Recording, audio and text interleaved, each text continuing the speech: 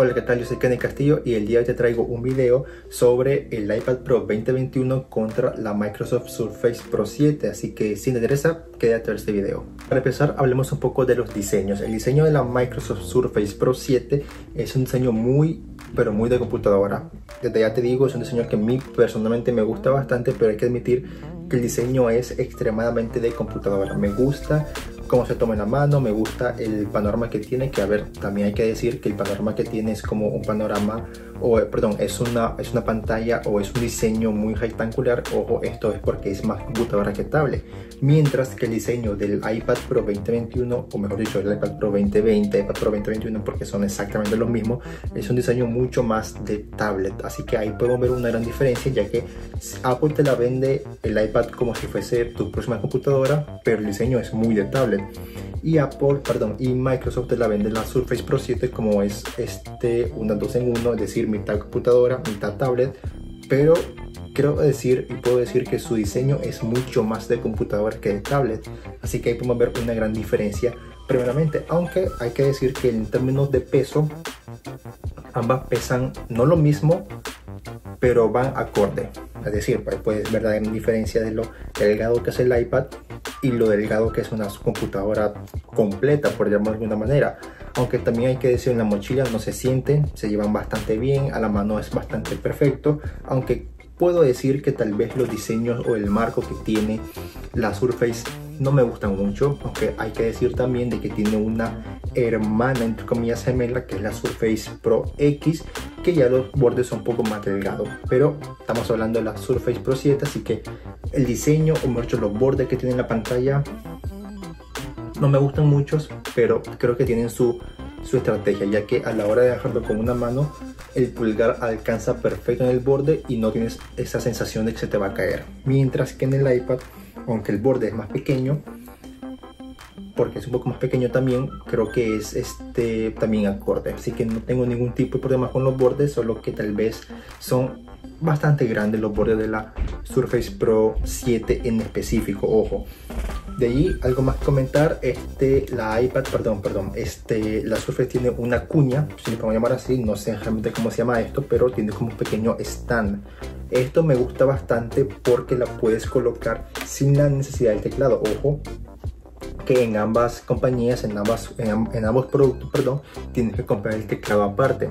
Sin embargo, la Surface, aunque no compres el teclado, que algo que sería básicamente ilógico comprar la Surface sin un teclado, tiene esta pequeña cuña que se ajusta bastante bien y la puedes incluso poner totalmente acostada, casi casi acostada, pero de allí me gusta mucho esta pequeña cuña o este pequeño stand para poder poner este la Surface en, un, en una Surface en una Surface en una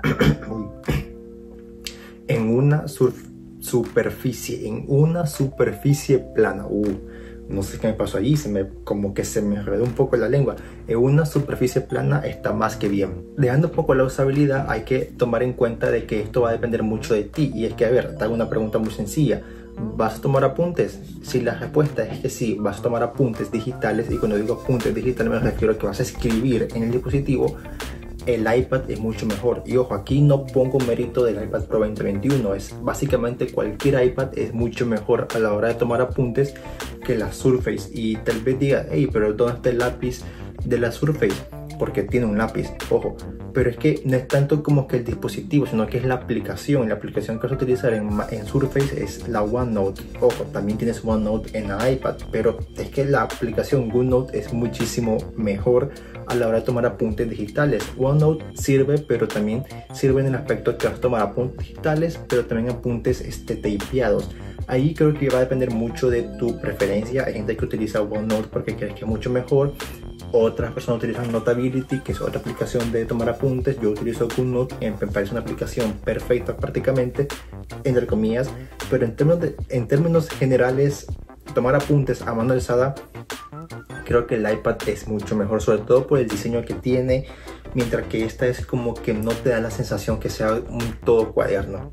La, verdad es que solo de imaginarme venir con lápiz y escribir en, en, la Surface no me siento, no me da esa sensación de que estoy escribiendo un cuaderno, mientras que la iPad por su diseño y por lo delgado que es, lo liviano, que ojo, hay, que decir que un poco más liviano que la, que la Surface, pero solo por ese tipo de, de detalles se me hace más cómodo escribir directamente este en el iPad.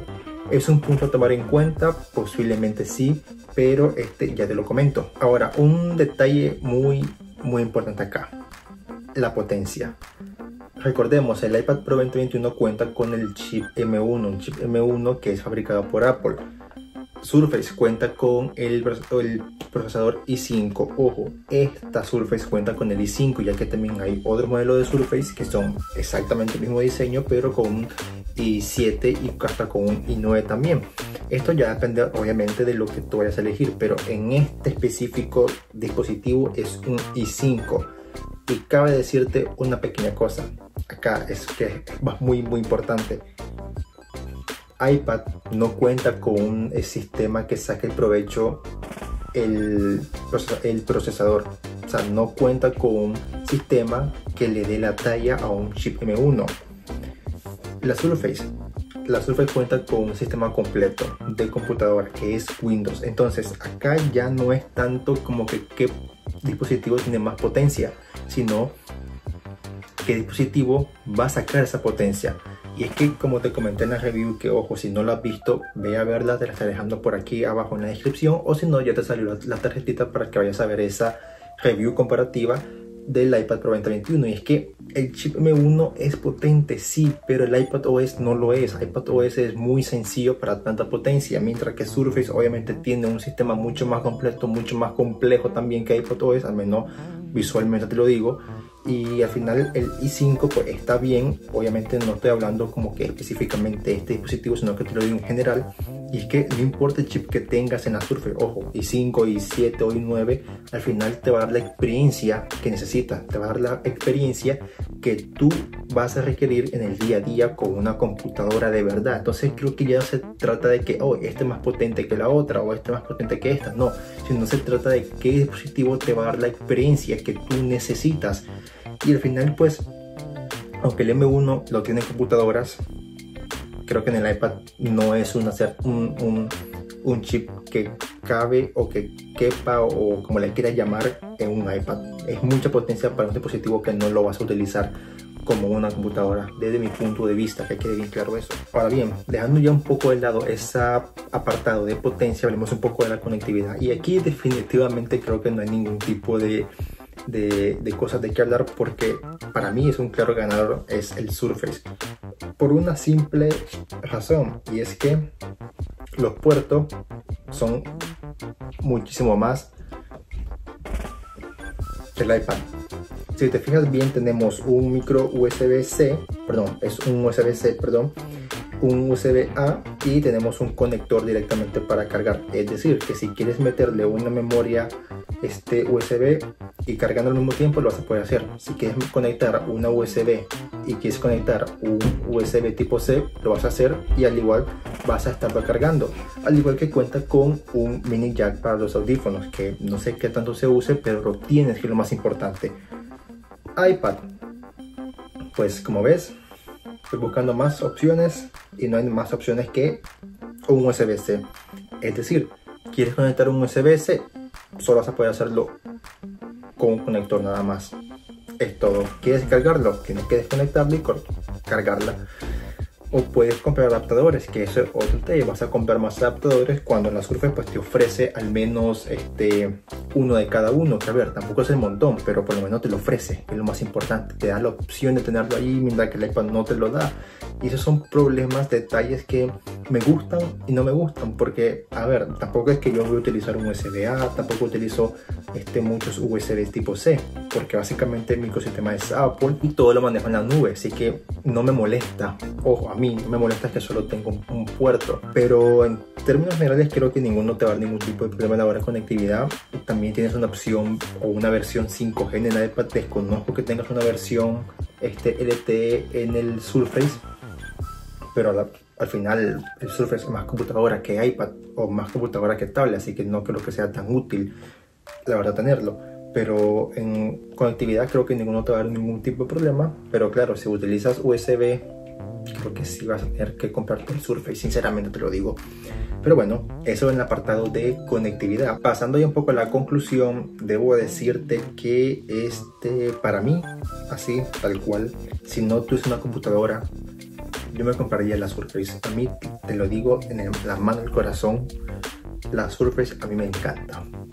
Me gusta, me gusta su diseño, me gusta su estilo. Tiene reconocimiento facial, al igual que el iPad Pro, aunque debo decirte que tal vez no me gusta mucho el hecho que te pone directamente el, el sensor. Ahí se ve cómo te pone el sensor directamente. El iPad Pro no te hace eso. Que, a ver, no es como que sea algo malo, pero se nota y es como que te da esa, esa, sensación, ¿no? De que, oh, no sé, no sé cómo pero al menos notas que te está leyendo en la cara. Algo que obviamente no pasa. No se ve absolutamente nada. Bueno, tal vez se puede llegar a ver porque está en cámara, pero con el ojo humano no se ve. Y aquí, tal vez diciendo, oh, es que se ve porque es la cámara. No, yo lo veo con mis propios ojos. No necesito poner una cámara enfrente para ver que está el infrarrojo ahí pero es un pequeño detalle, pero en términos generales, como te digo, la Surface a mí me gusta.